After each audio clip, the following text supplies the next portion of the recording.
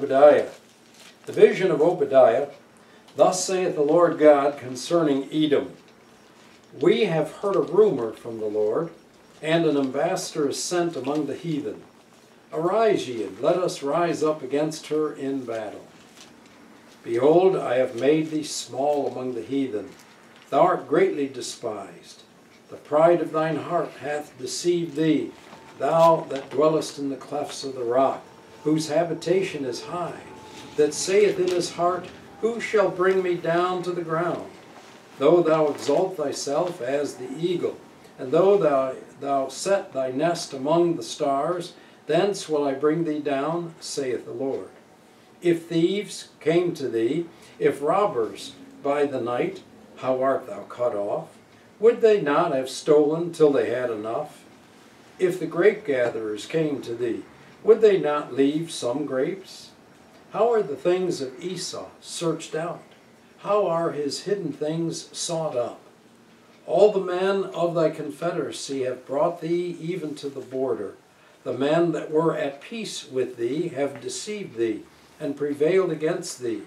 They that eat thy bread have laid a wound under thee. There is none understanding in him. Shall I not in that day, saith the Lord, even destroy the wise men out of Edom, and understanding out of the mount of Esau?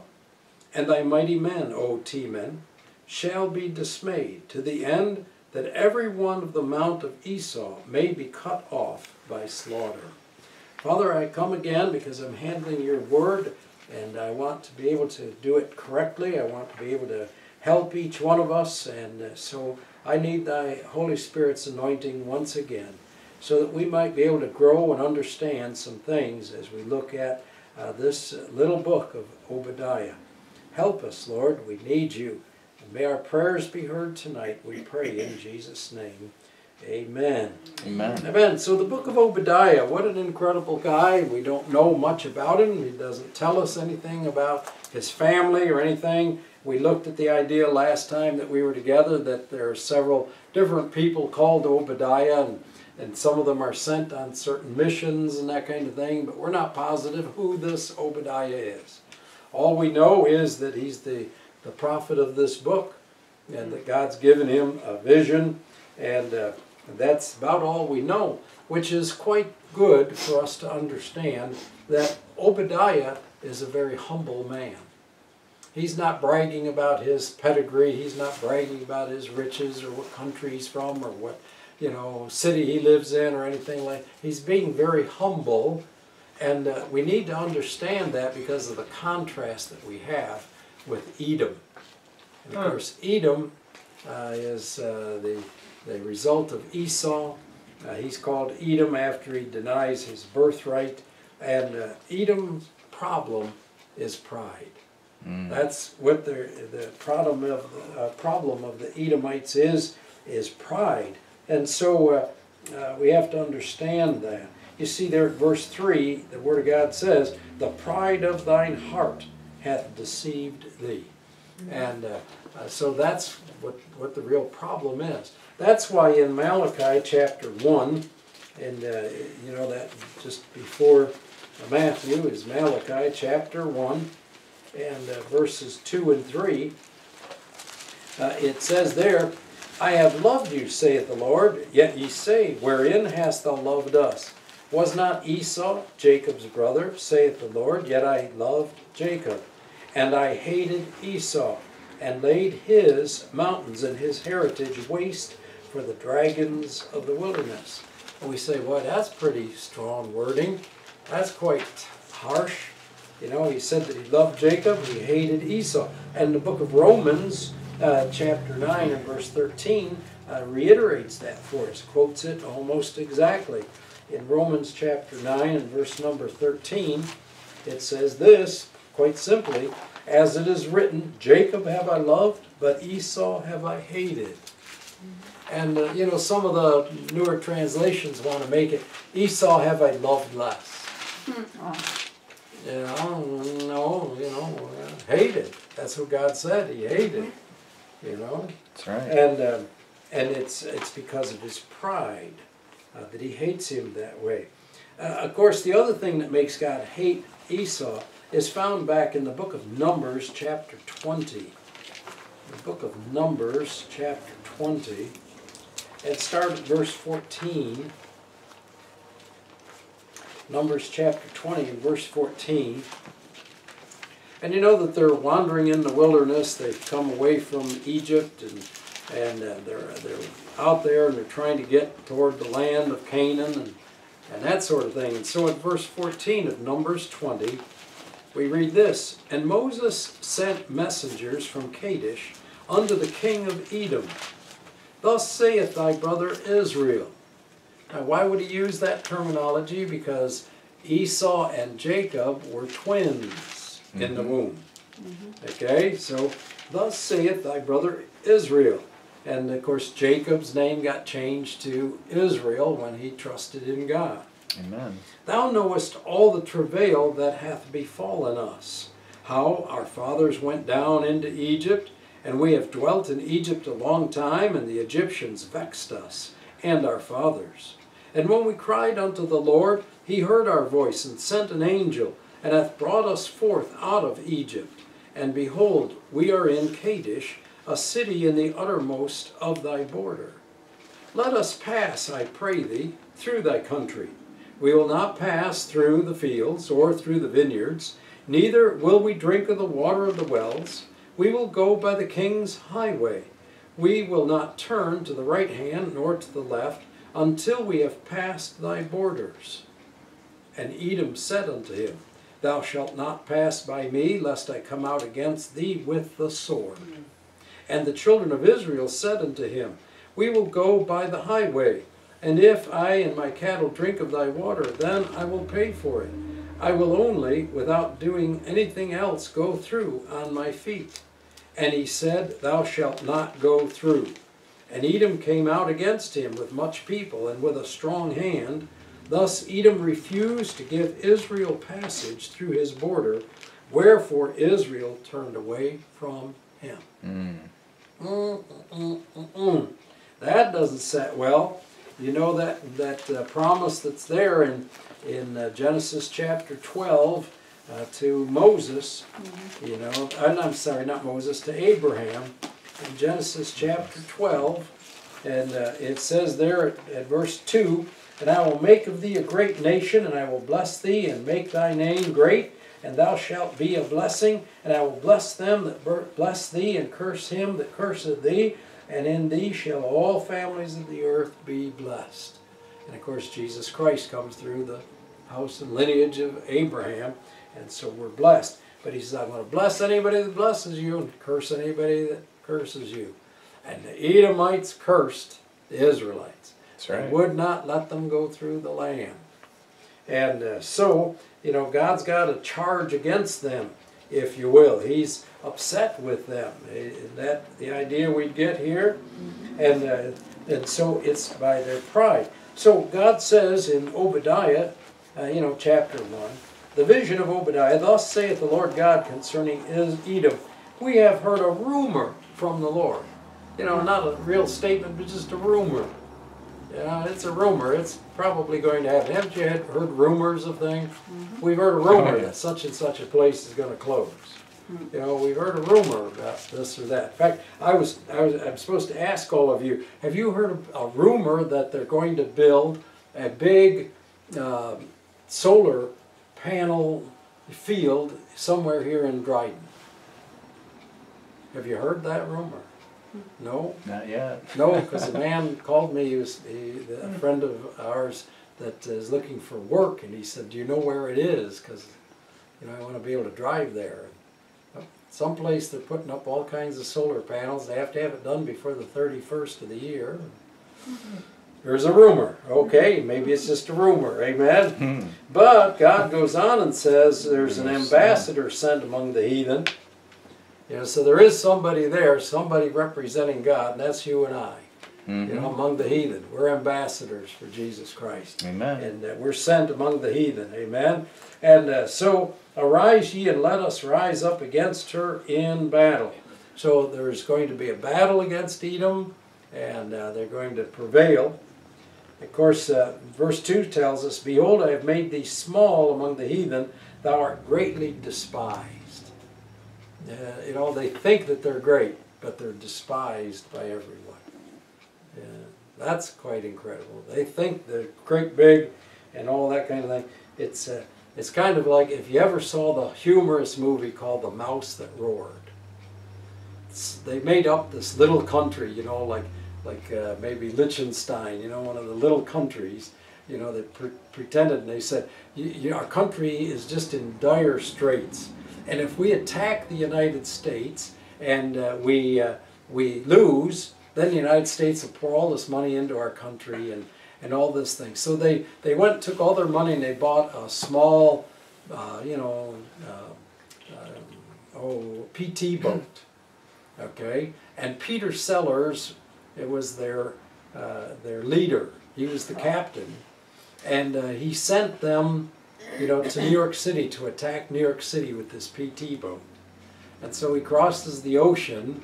And when he gets there, the, there's this big scare in New York City that somebody is coming, at a rumor, somebody is coming with this great big hydrogen bomb and they'll blow up all of New York City. And in steams the mouse that roared, you know. and he, Peter Sellers is, you know, stupid and bumbling and all this, but there's nobody in the city, and the army comes and we surrender, and they surrender to his country. Now his country's got to take care of the United States. So kind of a funny thing, amen? But that's not how it is with uh, Edom.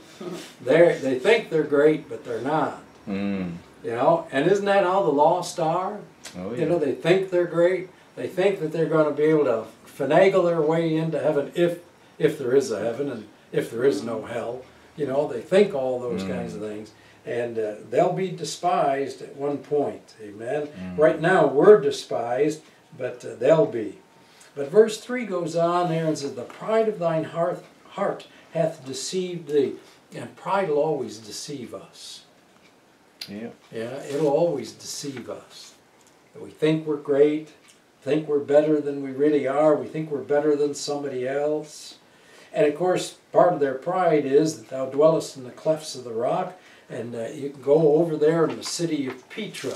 Mm-hmm. Uh, was uh, set up by them in the rocks and, and all, and uh, hard to get to it. You know, winding, narrow way to get up to it, easily defended and all that. But still, they get conquered. You know, it, it still happens. But they, they, they dwell there. And uh, so uh, it goes on at the end of verse 3 that saith in his heart, Who shall bring me down to the ground? Who's going to bring me down?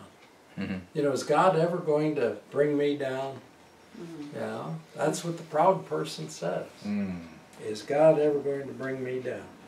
Well, let me just take a look at some things here about pride. Go with me, if you would, to Proverbs chapter 6, where Mary brought us before, which was absolutely perfectly right.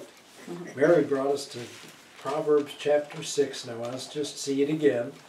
And verse 16 through 19. These six things doth the Lord hate, yea, seven are an abomination unto him. And that's God's way of, of uh, you know, it's kind of a poetic way of saying these are these are bad things. And seven being the number of completeness. Six, the number of man. So they're found in man. But here's the completeness. These six things doth the Lord hate. Verse 17 says, a proud look. That's the first on the list. Mm-hmm. Just a proud look. Just coming into church and looking at somebody and thinking, oh, I'm better than they are. Mm-hmm. A proud look. A lying tongue and hands that shed innocent blood, a heart that deceiveth, uh, deviseth rather, wicked imaginations, feet that be swift in running uh, to mischief, a false witness that speaketh lies, and he that soweth discord among brethren. Mm. You know, those, those things God hates. All right? And, uh, you know, that we ought, to, we ought to learn. What, what does God hate? He hates, uh, you know, proud look, and of course, uh, lies and false witness are both in there. That's twice in there. You know, he's all about truth. Amen. Amen. Hands Amen. that shed innocent blood. You know, devising wicked imaginations, feet that run swift to mischief, and anybody that sows discord among the brethren. So, couple that, if you will, with chapter 8 and verse number 13. Chapter 8, verse 13 of Proverbs. And the Word of God here says, The fear of the Lord is to hate evil. You wanna wanna fear God, hate evil. Amen. Okay? So now look at what it says. Pride and arrogancy and the evil way and the froward mouth do I hate. Mm. That's what God says. Starts right out there with pride and arrogancy. Maybe it would be a good thing to understand a definition of pride. Mm-hmm. Hmm? That's what I was thinking. All right? Pride is an attitude of heart that declares there is no need of God.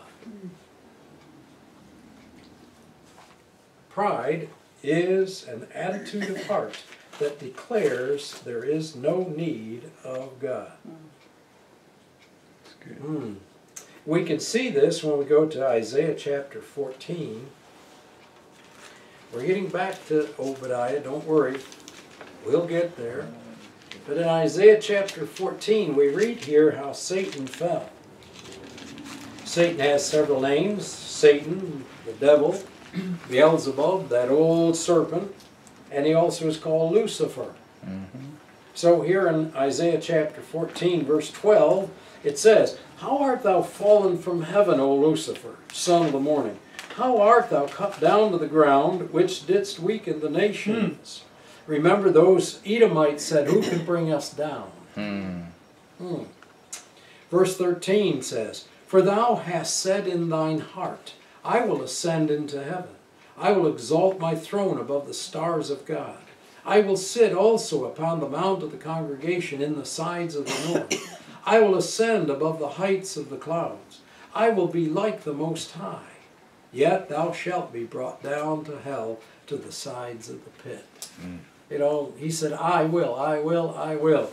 You know, pride. The center letter in the word pride is I. Mm-hmm, mm-hmm. Yeah, pride. I. I can do it. I. That's me. I've done everything. And uh, take a look with me in Daniel. Would you take a look here at somebody who had pride? Daniel chapter 4. And uh, we want to take a look at verse 30 through 33. Daniel chapter 4, verse 30 through 33. Here Daniel is, uh, you know, a, a consultant uh, to the king and all, to the emperor. And the emperor is, is Nebuchadnezzar. And uh, look here at verse 30, Daniel 4. The king spake and said, You ready for this? Boy, oh boy, oh boy, here comes the pride. Is not this great Babylon that I have built for the house of the kingdom by the might of my power and for the honor of my majesty? Yikes. Do you see in his heart there's no room, no need for God? Mm. While the word was in the king's mouth, there fell a voice from heaven saying, O King Nebuchadnezzar, to thee it is spoken, the kingdom is departed from thee, and they shall drive thee from men, and thy dwelling shall be, ma- be with the beasts of the field. They shall make thee to eat grass as oxen, and seven times shall pass over thee, until thou know that the Most High ruleth in the kingdom of men and giveth it to whomsoever he will. The same hour was the thing fulfilled upon Nebuchadnezzar, and he was driven from men and did eat grass as oxen, and his body was wet with the dew of heaven, till his hairs were grown like eagle's feathers, and his nails like birds' claws. I mean, for seven years he never cut his hair, never trimmed his nails. You know, he, he had to look like something, didn't he? Yeah. Wow. Ate grass. Yeah, and he ate, ate grass out there with the oxen. Mm-mm-mm. Yeah, yeah. Of course, uh, we're glad that verse 34 and following tells about how he came back around and Amen. gave God the glory. Yeah. Amen. Amen. And when he started giving God the glory, then he got his kingdom back. Yeah. Kind of interesting how that works. You know, our president ought to read that passage. Yeah, yeah. Yeah. And that You verse know? thirty-seven at the end is, Yeah, verse 37 is Yeah. great, yes. Now I, Nebuchadnezzar, Praise and extol and honor the King of heaven, all whose works are truth, and his ways judgment, and those that walk in pride Yeah. he is able to abase. That's for sure. Well, you got the message. Yeah. yeah, yeah, yeah. He finally got the message. Isn't that something? You know, pride. Pride, pride, pride. Pride's a terrible thing in any of our lives. Mm-hmm. You know, there's a lot of sins in the Bible. A lot of different people sinned in different ways. You know, you, you we- we did this last time we were together, but I'll kind of do a little bit again here. You know, uh, Noah got drunk, didn't he? Mm-hmm. Amen. But does the Word of God ever say God hated Noah? No. No. But Esau, with his pride, didn't need God, so he didn't need his birthright, Ah. right? Mm-hmm. Didn't, didn't need to help out the people of God. Didn't have any use for God. God hated Esau, Mm. his pride. You see, if you go to 1 John and chapter 2 and verse number 16, you'll see that God says this there. 1 John chapter 2 and verse 16, it says, For all that is in the world, the lust of the eyes, I'm sorry, the lust of the flesh, and the lust of the eyes, and the pride of life is not of the Father, but is of the world. See? You know, in 1 John 2 16, the pride of life is not of the Father. Doesn't come from the Father, comes from the world. Comes from within our own heart. Amen? Pride. So we have to be very, very, very careful about the sin of pride. See, one of the things about the sin of pride is you can have it and nobody knows it. Except for God. Yeah. You can be very proud about a whole lot of things, and you're very upsetting to God, but it doesn't show. If I went down the street to the convenience store and walked in and said, Give me all your money, and it just happened to be that the police officer was getting coffee at the Dunkin' Donuts next door, and he come whizzing right around, arrested me, you all would be all upset. Sure enough Yeah. ought to be. You know, but what about pride? Pride in my life, pride in my church, pride in my church family, or those kinds of things. You know, pride that I can deliver a sermon, uh, whatever it might be. Pride I can play play the guitar. Pride that I can balance the checkbook of the Mhm. church, or something like that. You know, I could be very upsetting to God if I have pride. Mm-hmm. And you know, I honestly believe this with all my heart. Every sin we commit comes back to, always mm-hmm. somehow or other, comes back to pride. Amen. It always stems from pride. Lack of need for God. A lack of need of God, that's Mhm. right. Yeah. Pride. So here in the book of Obadiah, God's pretty upset with these people. Amen. Yeah. There's a people that he's quite upset with. Verse 4 of Obadiah, and you can go to chapter 2 if you want, or chapter 3, I don't care which chapter you go to, but verse 4 is always going to be the same. Obadiah is only one chapter. Though thou exalt thyself as the eagle, and though thou set thy nest among the stars, thence will I bring thee down, saith the Lord. It doesn't matter how high you put yourself up. You know, God can still bring you down. Mm-hmm. That's No right. matter no matter what, you know, we have to be careful about pride in our life. God resists the proud and giveth more grace to the humble. You know, some people get proud that they're saved. Mm. And they can be very proud of the fact that they're so well, I'm saved. You know, it makes me better than this one and that one and that one. You know, outside of grace, there's nothing else that happened in your life to That's get you right. saved. That's right. You know, you didn't bring anything. There was nothing you could do. You know, it was all God, and you did nothing. That's right. And you really ought to be humbled at salvation, not be proud of it. But some people get very proud that they're Mhm. saved, and the others aren't. Uh, we we ought to be humble about the fact of where we were born, how we were born, who we were born to, Mm. you know, and that kind of thing. We ought to be humbled by that. not be proud of it. Like Obadiah. Yeah, yeah. He's he's says nothing about himself. You know, we, we need to be proud of nothing, and Mhm.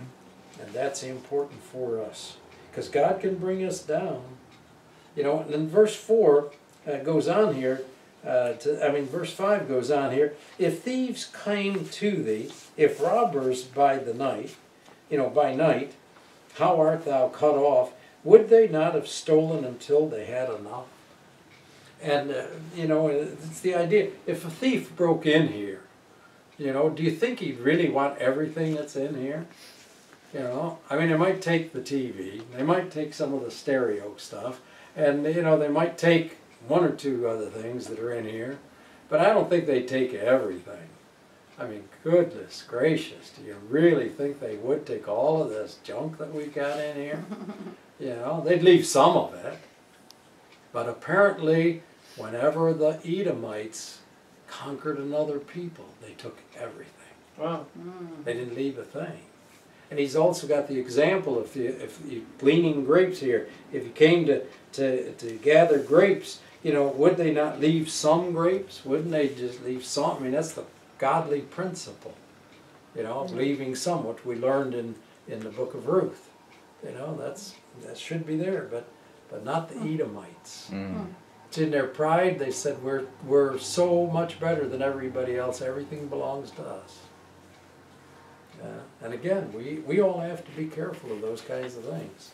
They creep into us, amen. Mhm. You know, any one of us can creep into that. So verse six says, "How are the things of Esau searched out? How are his hidden things sought up?" God's got a microscope that you would not believe. Mm. Amen. God can look right down into the heart and soul of every single human being. Mm-hmm. You know, and all their pride and all their their things can't hide from God. You know, the hidden things sought up. You know, God will take care of all. You know, and all of us, we can we can hide it pretty good. Amen. You know, we can hide. You know that idea that well, in reality, I don't need God. And pride can show up in how we pray. This is prayer meeting. Mhm. Pride can show up in how we pray. You know, well, we pray because we want people to hear what we're saying, and but we don't really, really need God. Mm. God, if you could, this would help me to get this done. You know, but I'm going to do it, God, whether you help me or not. Hmm. We, we have to be careful. Amen. I mean, when we look at how scathing God gets with these Edomites, as we go on, we'll we'll be able to look and and see even more about it. But you know, He gets really, really rough with these people, and because He hates their pride. You know, He hates their pride. All right, that's all I'm going to give you tonight. Mm. We got to go to prayer. Amen. Amen. Questions, comments? Edomites today. Uh, I would think there's, some over in that whole Palestinian the- mix. hmm Yeah, Jordanians. Jordanians, And that that's kind of thing. really the root of the problem over there today is pride. Still, still They pride. want their Yeah. stuff. You know, Mm-hmm. Yeah. they've got our stuff. I want it back, and Mhm. it's pride. And we, Yeah. it's my stuff. Right. And they've got your stuff, and you know Mhm. that's what they're telling them. So go get it. Right. You know, rile things up over there. Yeah. So it's still going on. So Yeah. Still going on. pride, not Right. content. Yeah. It's it's like um right I I've been looking at right I look at a lot of the countries of the Bible and you know what's gotta be formed. It's like well ISIS obviously is taking Assyria. Sure. Once that becomes official, there'll be Assyria there. Yeah. Um, Spain is going to return to its form. The prime min- or the prime minister of Spain said last week, no, no province said no part of Spain is getting away as long as he's in charge. Oh, and then signed that deal with the United Arab Emirates and Uh-huh. trashing Germany, Israel, and the United Kingdom. And Mhm. it's like, yeah, you're going the right way here. Yeah. Just makes us listen for that trumpet, Yeah. doesn't it? Yeah, it's like you can see all the players of Lining up, Jesus' time lining up, and Lining up. they're gonna be Yeah. fighting each other like they did then. Well, the popes uh, signed it, gotten uh, Islam, uh, Buddha, uh, Hindus to sign a pact on slavery to do away with slavery in all these Is that right? nations. So they've gotten Wow. together to Hmm. come out against slavery, and And that's slavery. You got Islam to do that? They say they Yeah. do. They Sure. get Muslims can lie. well, they can to sign get anything they want. They Yeah. don't- Sure, they'll lie. Yeah. That's part of the culture. The Actually, Pope is all har- those. this Pope is hardly even Catholic though. Right? One thing you'd say about the last one, I mean, he was Pope Benedict was really Catholic.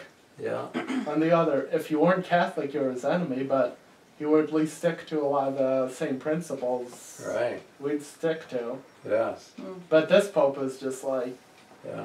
The pendulum such- swung the other Well, way. yeah, yes. it's caused such a division Yeah, that a lot of the traditional Catholics are like, no, I'm not for abortion or homosexuality or evolution. yeah, yeah, His, his role is to bring everybody together.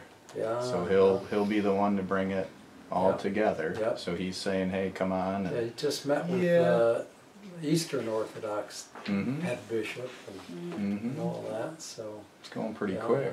And of course, you folks, uh, you know, have to remember that in history, uh, the, the Muslims not only took over all of North Africa, but they took over Spain. And so there's a lot of architecture and a lot of their music is all Arabian looking, sounding, that kind of thing. hmm And they're wondering why their, you know, territories they've conquered the last 500 years all want to get away from them. Right. Hmm. Yep. Yep. So quite interesting, dear ones. Mm. Yeah, it's, Times we live in. it's insane. Mm. If- So if- I want, I want to be, you know, one that uh, fears God, Mhm. and so I'm going to hate things He hates: pride, arrogancy, and the evil way. Bring a little Islam will bring more. It's it's not like oh yeah we can combine Catholicism and Islam. No, you can make it Islam. Right. It's it's going to be something. Remember that Muhammad's daughter was named Fatima, mm-hmm. and there's that shrine to Fatima in in Spain. Mm-hmm. You know, so they'll the Lady of Fatima, they'll do something with it. Mm-hmm. Okay, Miss Jeannie, if you'd help me.